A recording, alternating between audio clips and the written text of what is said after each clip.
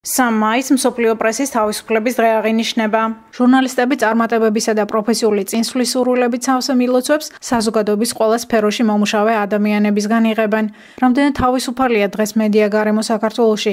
გაიცდიან თუ არა ზეწოლა ჟურნალისტები, ის სეგმენტი, ვინც პასუხისმგებელია საზოგადოებას მიაწოდოს უტყუარი და აბალანსებული ინფორმაცია. განასხვავებენ თუ არა თავად ჟურნალისტები თავისუფლების თვალსაზრისით არსებულ მდგომარეობას იმის მიხედვით ცენტრალურ მედიაში მუშაობენ თუ რეგიონებში. ამ საკითხებზე მედიის წარმომადგენლების მოსაზრებები ამერიკის ხმამ აჭარასა და შიდა ქართლში ჩაწერა. თვითცენზურას აქვს ადგილი, რამდენიმე დღის წინ მომხდარი ამბავიც ამაზე მეტყველებს და მიუთითებს, აშკარაოზე გამოვიდა, თორე ყოველთვის გონდა თვითცენზურას ადგილი ქართულ მედიაში, რადგან ჩვენ გვაქვს პოლარიზებული მედია, გვაქვს სახელმწიფო ფლაგმანზე მოთამაშე მედია და გვაქვს ასევე ოპოზიციურ ფლაგმანზე მოთამაშე მედია. ეს არ შეგვიძლია ვთქვათ, რომ თლიანად ხელისუფლებას თავისუფალ გარემოზე ყავს რეგიონული მედია საშუალება, უბრალოდ ნაკლებია ძალისმიერი მეთოდები, აქაც არის თვითცენზურა და ასე ვთქვათ, ან გარკვეული რბილი ძალით გავლენის მოპოვების მცდელობა.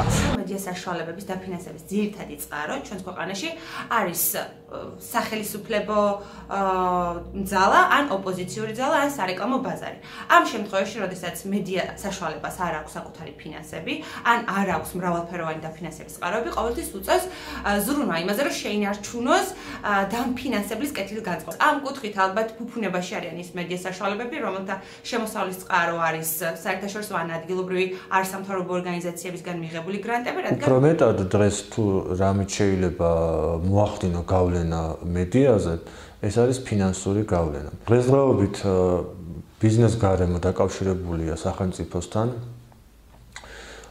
შესაბამისად სახელმწიფოს შეუძლია აი ამ რეკლამების, აი ამ ბიზნეს გარემოს ჩაკეტვით შენთვის ჩაგიკეტოს ყველანაირი რესურსი და იძულებული გახდე თუ ხარ ყოფნის ამისი პრინციპულობა და დამოუკიდებლობა არ გინდა შესაბამისად შეგიძლია გახდე აი ამ ბიზნეს ბიზნეს სამყაროს პარტნიორი შესაბამისი პარტნიორი სახელმწიფოს.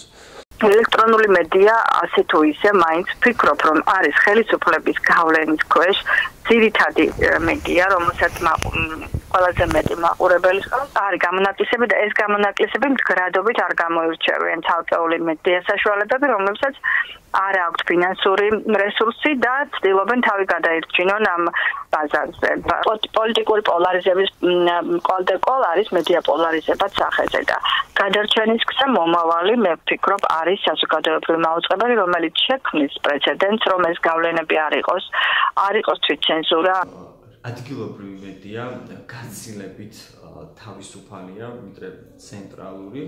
აა მე ამას ვამბობ მე ამ 10 წლიანი გამოცდილების და დაკვირვების შედეგად მედიას რომელსაც მე წარმოვადგენ თვლი რომ თავისუფლების მაღალი ხარისხი აქვს დღეს ვინაიდან რადგანაც არ ფინანსდება საბიუჯეტო ორგანიზაციების მიერ და არტრის მედია თავს ვალდებულად და რომ გაითვალისწინოს ხელისუფლების პოზიცია ან რომელიმე დაინტერესებული მხარის პოზიცია პრესის თავისუფლების ინდექსის მიხედვით საქართველოს მე-60 ადგილს იკავებს 28.98 მეასადი ქულით იმ მონაცემებით, რასაც აქვეყნებს ორგანიზაცია რეპორტერების საზღვრებს გარეშე. ამავე კვლევის თანახმად ქართული მედიის მთავარ გამოწვევებს შორის პოლარიზება წამყვან ადგილს იკავებს.